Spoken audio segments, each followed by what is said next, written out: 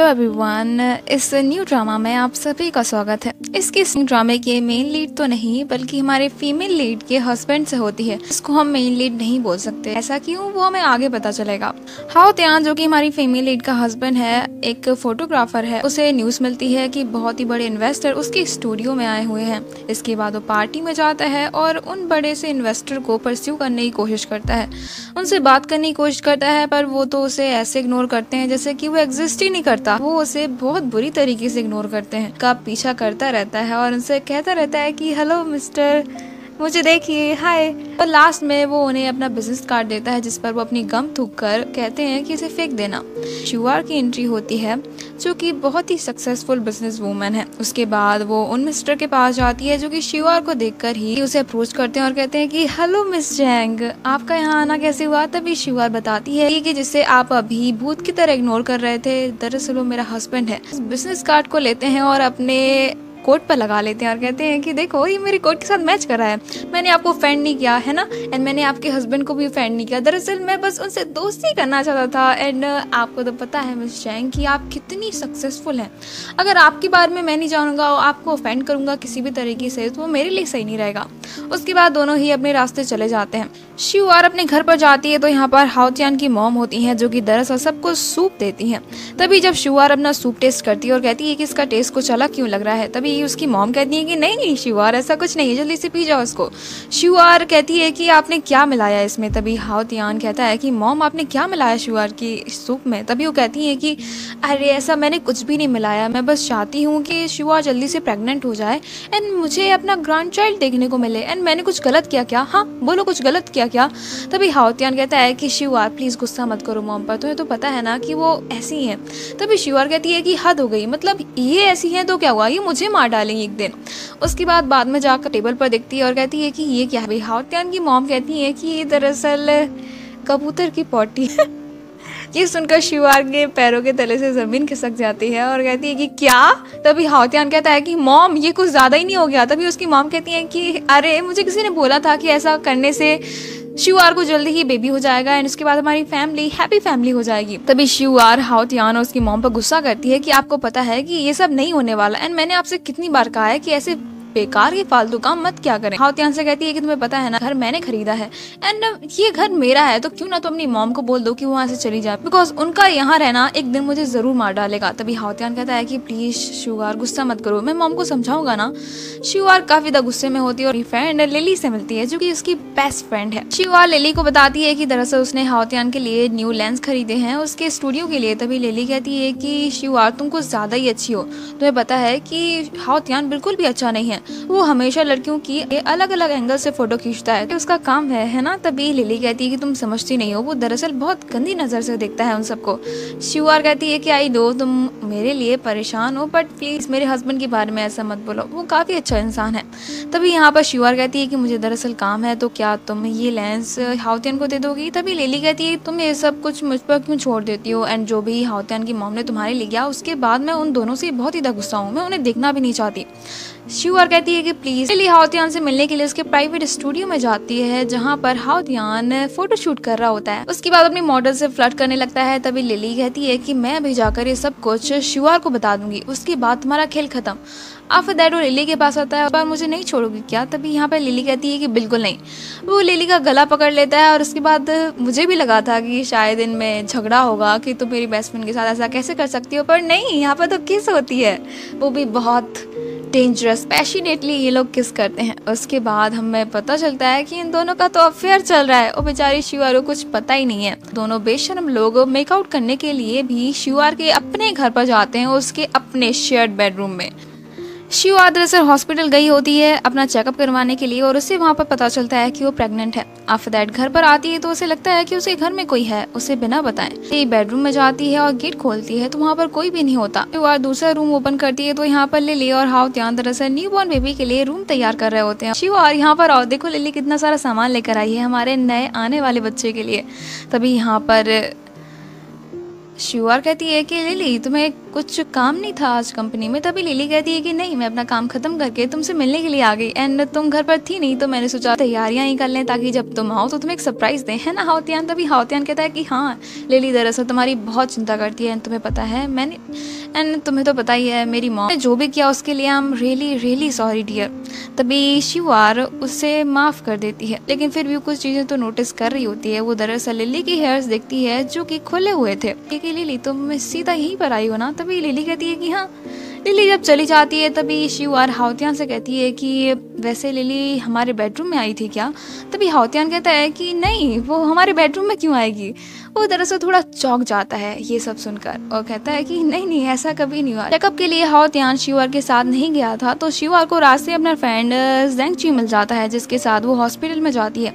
और ये सब कुछ दरअसल हाउतियान की मोम की फ्रेंड देख लेती हैं और फ़ोटो खींचकर हाउतियान की मोम को भेजती हैं और हाउतियान की मोम इन दोनों को दिखाती हैं और कहती हैं कि देखो हाउतियान ये तुम्हारी वाइफ दरअसल तुम पर चीट मार रही है। तभी शिवार कहती है कि आपका दिमाग खराब है क्या?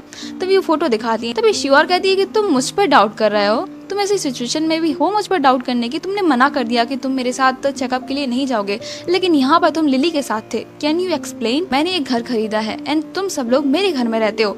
And excuse me mother in law आपकी हिम्मत कैसे हुई मुझसे ऐसी बात करने की? अगर आपको इतनी ही प्रॉब्लम है तो क्यों ना आप यहाँ से चली जाए? बिकॉज़ मेरी मैरिड लाइफ को काफ़ी डिस्टर्ब कर रही है। उसके बाद मदर इन लॉ चिल्लाना स्टार्ट कर देती है और कहती है कि हाँ ध्यान देखो इसे।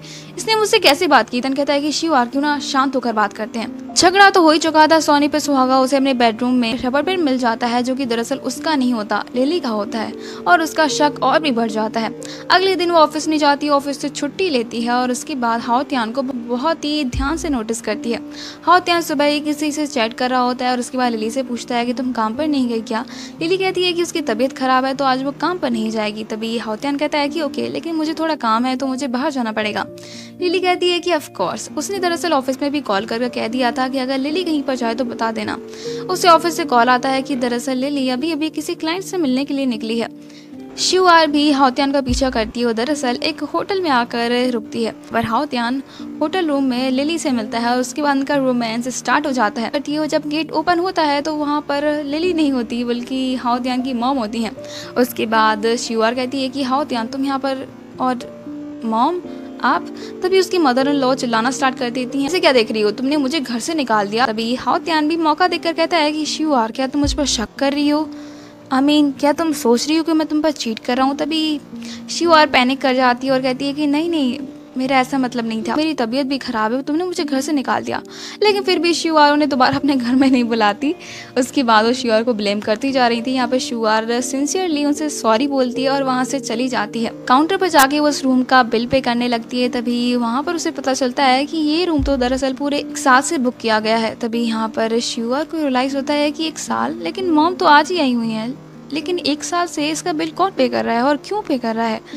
क्या हाउतियान उसे सच में कुछ छुपा रहा है? ली जो कि वॉशरूम में छुपी हुई थी, बाहर निकल कर आती है और हमें पता चलता है कि तीनों के तीनों मिलकर दरअसल शिवहार के पीठ पीछे ये सब कुछ प्लानिंग कर रहे हैं। ये देखो तुम दोनों को। तुम दोनों के लिए मुझे कवर अप करना पड़ रहा है। एंड इस शुआर का मैं क्या करूँ? जब भी मैं उसे देखती हूँ, मेरा खून खोल जाता है। एंड लिली तुम ना जल्दी मेरे बेटे से शादी कर लो ताकि मुझे तुम जैसी डॉटर इन लॉ मिल सके। नहीं तो शिवार को देखते देखते तो मैं जल्दी ही मर जाऊँगी। हमें शिवार से बहुत कुछ लेना है। उसका घर, उसकी प्रॉपर्टी उसकी मनी बहुत कुछ। तभी हाउतियान कहता है कि बिल्कुल धीरे धीरे हम सब कुछ उससे ले लेंगे। ये तीनों दरअसल बहुत ही ज़्यादा विशियस हैं। उसके बाद ये दोनों के दोनों खुश होते हुए बाहर निकलते हैं। शिवार को उल्लू बना दिया, लेकिन शिवार ने अपनी कार में से देख लेती है। उसका दिल तो चूर चूर हो जाता है। जेंगशी को कॉल करती है और उसे बताती है कि दरअसल उसका हस्बैंड उस पर चीट मारा है। हाउतियान भी एक नंबर का कमीना है। अपनी वाइफ को बुलाता है अब एक बहुत ही बड़े इन्वेस्टर से मिलने के लिए। इनका नाम होता है मिस्टर डियाओ। उसके बाद वो शिवा को टच करना स्टार्ट कर देते हैं और हाउतियान भी वहाँ से चला जाता है। उनकी गंदी सी शक्ल पर ड्रिंक फेंक कर चली जाती है और कहती है की दरअसल अपनी शक्ल देख कर आया करो, सुबह सुबह आई नहीं, मिस्टर डियाओ को रोकने की कोशिश करता है, पर मिस्टर डियाओ से एक लात मारते हैं और ये सब कुछ फिर से हाउतियान की मोम की फ्रेंड दरअसल रिकॉर्ड कर लेती हैं और ग्रुप चैट पर फैला देती हैं। लिली को ठिकाने लगाने की सोचती है और उसके बाद वो लिली को बुलाती है तो जल्दी ही लॉन्ग लीव पर जाने वाली है तो क्यों ना उसकी पोजीशन दरअसल लिली संभाल ले। लिली कहती है कि क्या सच में ऐसा हो सकता है? तभी शुहार कहती है कि ऑफकोर्स लिली तुम बहुत ज़्यादा टैलेंटेड हो, लेकिन उसके लिए तुम्हें सबसे पहले मिस्टर जियाओ को कन्फ्रंट करना पड़ेगा। वो दरअसल बहुत ही बड़े क्लाइंट है।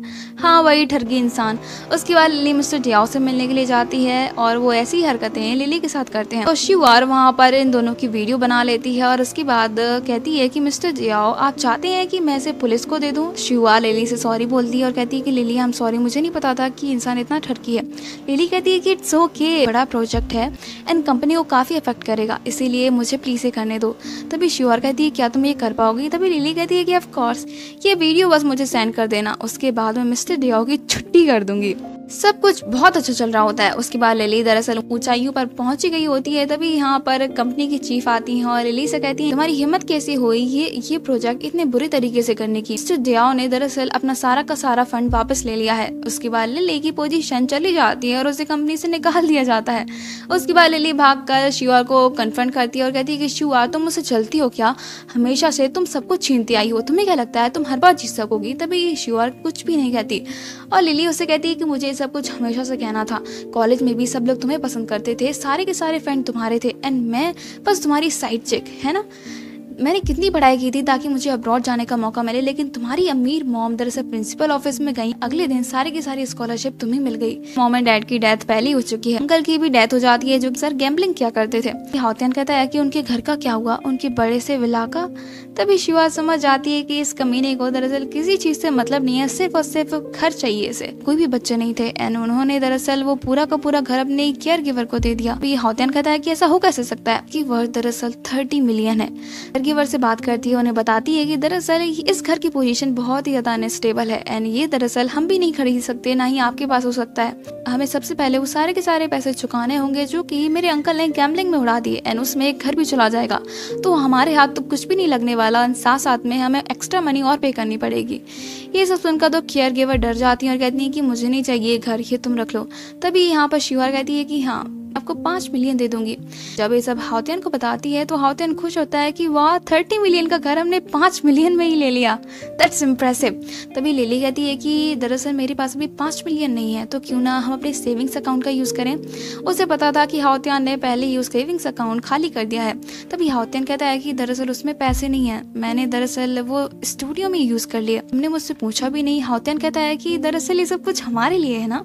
हमारे आने वाले बेबी के लिए। अरे, के सारे पाँच मिलियन की ज़रूरत है तो क्यों ना तुम अपने जो लेंस है, अपना स्टूडियो है सेल्स पर डाल दो। एंड जब सब कुछ क्लियर हो जाएगा तो हम फिर से वो सब कुछ खरीद लेंगे। शिवार ये भी प्रॉमिस करती है कि वो घर दरअसल हाउतियान की मॉम के नाम कर देगी। ये सब सुनकर हाउतियान की मॉम बहुत ज़्यादा खुश हो जाती है और कहती है क्या, मेरा घर? पहुँच जाती है दरअसल रजिस्ट्रेशन पेपर लेकर उस घर में और कहती है कि फाइनली मेरा घर। क्यों ना तुम उसे डिवोर्स ले लो? तभी हाउतियान कहता है कि, अभी नहीं। अभी लिली के पास बहुत कुछ है जो हमें लेना है। उतने में ही कुछ लोग आते हैं और बताते हैं ये घर सेल हो ही नहीं सकता। और ध्यान गुस्से में शिवार के पास आता है और कहता है कि शिवार तुम ऐसा कैसे कर सकती हो? तुम तो मुझ पर ऑलरेडी चीट कर चुके हो तो, तो फ़र्क ही नहीं पड़ता हम साथ रहे या ना रहे। शिवार अपने फ्रेंड जेंगची का यूज़ करती है जो की से एक लॉयर है। बात हाउत्यान शिवार से कहता है की शिवार मैंने तुम्हारी मॉम का बहुत ख्याल रखा था जब वो हॉस्पिटल में थी। एंड मेरी मॉम अभी हॉस्पिटल में है। तो लिली हाउत्यान से कहती है की तुम अभी डिवोर्स नहीं ले सकते बिकॉज़ हमारे पास कुछ भी नहीं है। हमसे सब कुछ छीन लिया एंड हमें वो सब कुछ वापस लेना है। अब इन लोगों को समझ क्यों नहीं आ रहा होता है कि का वो सब कुछ था ही नहीं कि किस्मत अच्छी थी कि शिवार इनका इतना खर्चा उठा रही थी। तो शिवार के घर पर ही कब्जा कर लेते हैं बिकॉज़ शिवार के पास कोई भी एविडेंस नहीं थे कि हस्बैंड ने चीट किया है। एविडेंस जमा करने के लिए वो दरअसल जैंगची का यूज़ करती है, जो कि इन दोनों के पास आता है ताकि ये दोनों के दोनों कुछ कबूल कर सके। पर ये दोनों के दोनों बहुत ही चालाक होते हैं और जैंगची की सारी चाल समझ जाते हैं। शिवर के पास आता है और कहता है कि शिवा तुमने सब कुछ रिकॉर्ड कर लिया ना? शिवर कहती है कि ऑफकोर्स श्योर उसके घर पर एक रिंग दिखती है और उसे बताता है कि दरअसल एक लड़की को लाइक करता था। लेकिन जैसे ही उसे प्रपोज करने वाला था, उसके डैड की हालत बहुत ही ज़्यादा खराब हो गई। उसे वो रिंग बेचनी पड़ी। कुछ टाइम बाद उसे पता चला कि उस लड़की की फाइनली शादी हो रही है। वो लड़की कोई और नहीं, बल्कि शिव आर ही होती है। इन हीट ऑफ़ मोमेंट किस करने की कोशिश करता है? पर शिव आर उसे दूर हट जाती हाउतियान और लिली शादी होने से पहले डेट किया करते थे एंड लिली ने ही हाउतियान को शिवा से इंट्रोड्यूस करवाया था। बिकॉज़ ये सब कुछ उसकी बहुत ही लंबी प्लानिंग प्लॉटिंग थी। शिवार अगले दिन अपने लॉयर के साथ इन दोनों से मिलती है। ये दोनों के दोनों काफ़ी काफ़ी कॉन्फिडेंट नज़र आ रहे थे। उसके बाद लिली दरअसल उस ऑडियो रिकॉर्डिंग को चलाती है तो यहाँ पर एक वीडियो रिकॉर्डिंग खुलती है। और हमें पता चलता है कि जैंग चीदो कमीना निकला। यस जेंग ची दरअसल इन दोनों के साथ मिला हुआ है। उसके बाद वो रोता भी जा रहा था और कह रहा होता है कि आई एम सॉरी शिवार मेरी ज़िंदगी सबसे बड़ी गलती है। आई एम रियली सॉरी मुझे माफ़ कर दो। शिवार उसके पास आती है और कहती है कि, तुमने ये सब मेरे साथ क्यों किया? तभी यहाँ पर वो सॉरी बोल रहा होता है। और उसके बाद झगड़ा स्टार्ट हो जाता है। शिवा जाकर लेली को थप्पड़ मार देती है और यहाँ पर इन दोनों में झगड़ा स्टार्ट हो जाता है। इसी झगड़े में दरअसल शिवार का सर टेबल में लग जाता है और उसके बाद वो दरअसल बेहोश हो जाती है। उसे हॉस्पिटल ले जाया जाता है। वो पता चलता है की दरअसल शिवार अभी कोमा में है। वो दरअसल किसी से बात नहीं कर सकती, हिल नहीं सकती है, ना ही कुछ एक्सप्रेस कर सकती है। लिली और हाउ त्यान तो ये सब कुछ सुनकर बहुत ही खुश हो जाते हैं बिकॉज़ उनके ज़िंदगी का सबसे बड़ा कांटा तो निकल ही गया होता है। पर लिली को अभी भी यकीन नहीं था कि शिवा दरअसल कुमा में जा चुकी है। शिवा के पैरों पर गर्म पानी डालती है ताकि वो दरअसल अगर नाटक कर रही है तो जल्दी से खड़ी हो जाए। लेकिन ऐसा होता नहीं है। उसके बाद हाउ त्यान लिली को रोकता है और कहता है कि, लिली, तुम ऐसा नहीं कर सकती। फिर वो शिवार को घर लेकर आते हैं। अली कहती है कि मुझे अभी भी यकीन नहीं है कि शिवार दरअसल सच में कोमा में चली गई है एंड वो कुछ कर नहीं सकती। तभी हाउतियान कहता है तो क्यों ना इसके सामने बैठकर ही रोमांस करें? जब भी इसकी आँखों में दिखती हूँ, मुझे दरअसल कुछ अजीब सा फील होता है तो हम ये सब यहाँ पर नहीं करेंगे। शिवार को वहीं पर छोड़कर चले जाते हैं। शिवार कोमा में नहीं गई है। वो जल्दी से उठकर चार्जर उठाती है अपना फ़ोन चार्ज करने के लिए। हाउतियान दोबारा से चेक करने के लिए आता है। अभी के लिए वो सब कुछ इग्नोर कर देता है। काफ़ी टाइम निकल जाता है और उसके बाद शिवार पैरालाइज होने का नाटक करती है। उसे पता चल गया होता है की वो किसी पर भी ट्रस्ट नहीं कर सकती। एंड बीच रात में जैंग ची दरअसल घर में इंटर करता है। उसके बाद शिवार से सॉरी बोलता है और कहता है कि शिवार मुझे माफ़ कर दो। मैं तुम्हें हमेशा से लाइक करता था। I really love you and जब हमें लग रहा होता है कि जैंग चीज़ से नीचे नहीं कर सकता उसके बाद ये सब कुछ हो जाता है। एक पैरालाइज इंसान को मोलेस्ट करने की कोशिश करता है।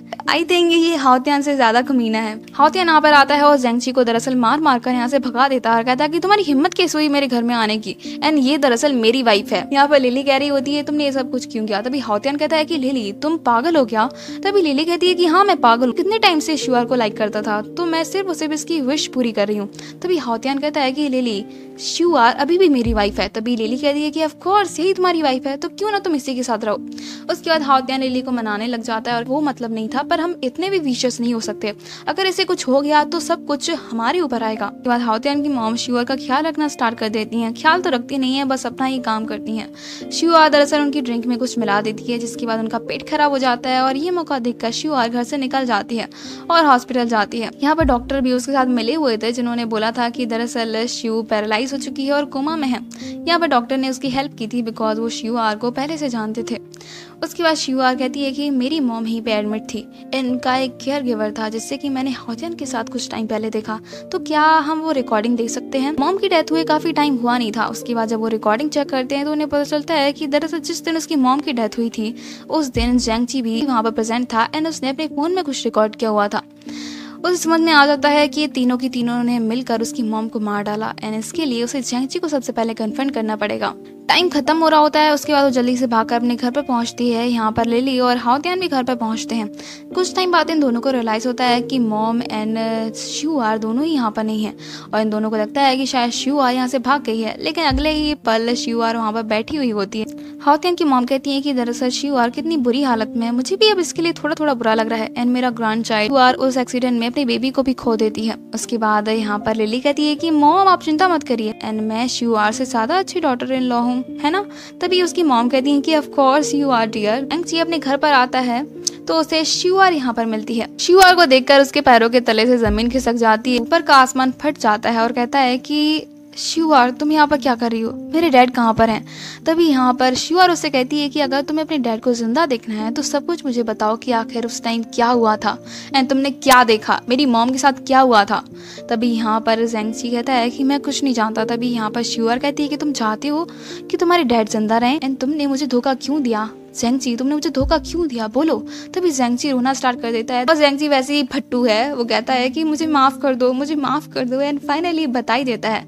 वो वीडियो दिखाता है जहाँ पर लिली और हाउत्यान उसकी मॉम को मार रहे होते हैं। और ये सब कुछ उसने पहले ही देख लिया था।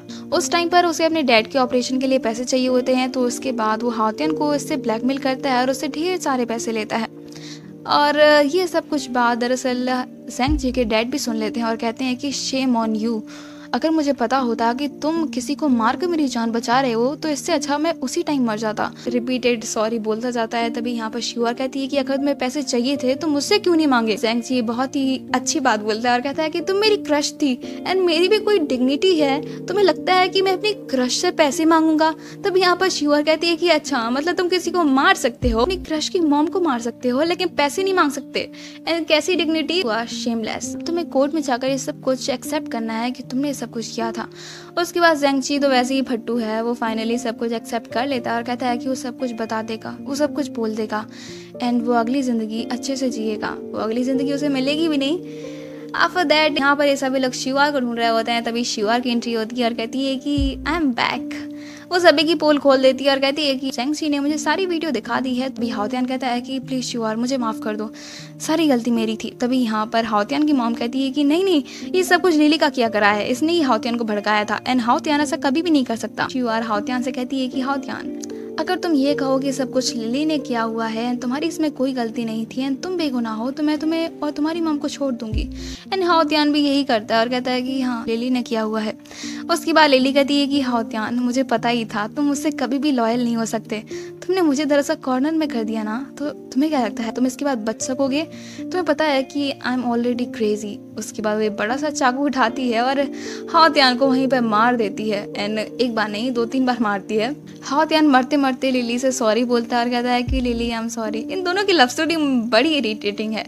लेकिन शिवार को फाइनली अपना रिवेंज मिल जाता है और उसके बाद आई डोंट थिंक ये हैप्पी एंडिंग है बट जो भी एंडिंग है एंडिंग हो जाती है। मिलते हैं नेक्स्ट ड्रामा के साथ thank you so much guys for watching